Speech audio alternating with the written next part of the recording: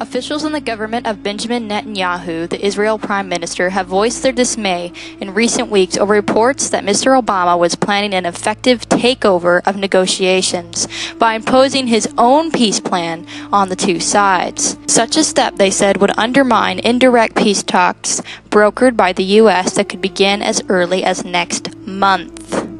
Mr. Obama has strenuously denied considering such an idea but observers have said it's likely that the U.S. president would have developed it as a contingency plan.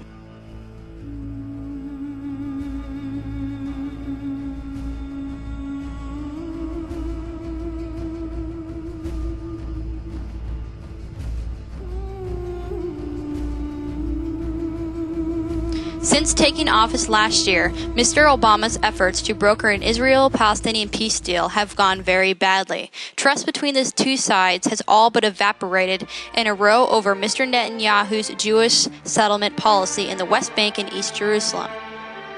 Although both the Israelis and the Palestinians have indicated their willingness to resume talks, Suspicions linger as negotiations will not be held face to face. A former Israeli diplomat close to the Obama administration said it seemed plausible that officials in Washington would consider taking matters into their own hands. Quote, an international conference involving the EU, China, and Russia is more of a recipe for chaos than a practical political blueprint, he said. But anything is better than the status quo. Fearing that it will deprive them of their ownership of the peace process, the Israeli and the Palestinian leadership are both likely to oppose a conference. The idea that you can have instant peace like instant coffee is an illusion, said an Israeli official. If you enforce a time limit and then introduce an imposed solution, if they don't succeed after the period, then it becomes a self fulfilling prophecy. You're going to guarantee the talks won't succeed. I've said it before and I'll say it again. God does unto the nations as they do unto Israel. If the United States of America continues to try to divide the land of Israel, God is going to divide the United States of America in some way or another. The Lord is not going to ignore what is happening right now. And if and when the United States of America is in fact one of the nations that help Israel be divided, judgment will come. I believe that we're already under some judgment as it is. Imagine what can happen, or imagine what will happen, rather, when the United States of America helps divide the land of Israel. Imagine what God will do then. I will curse those who curse you. The Lord is just and he's not a liar. And if he says, I will curse those who curse you, he means it.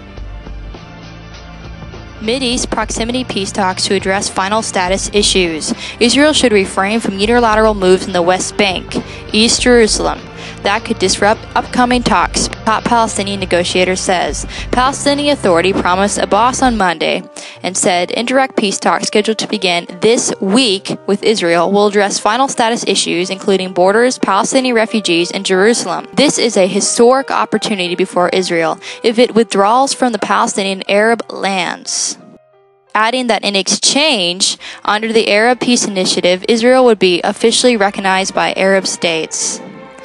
Well, what a honor. Give us all your land, give us all that you have, and we'll recognize your existence.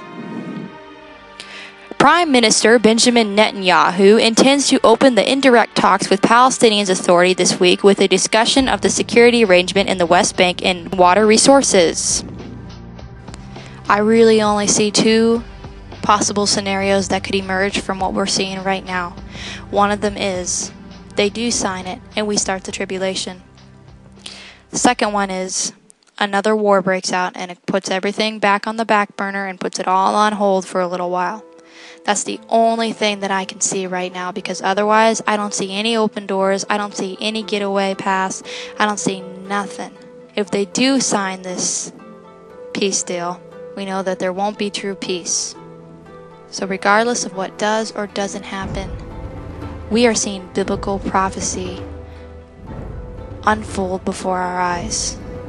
We are seeing things that were written about thousands and thousands and thousands of years ago transpire in our newspapers, on our TV sets. This is not a joke. This is the end. We are living in the end days. We are seeing the signs. The signs that say when Yeshua Jesus comes back, our Creator and our Savior is on his way, preparing his people, preparing his way, fulfilling his word. He says he will not return until all is fulfilled. So he cannot return until they do a covenant with many. Prepare your hearts and build yourself up in the most holy faith, for Yeshua Jesus is coming back very soon. Don't be taken as a thief. Don't be taken off guard.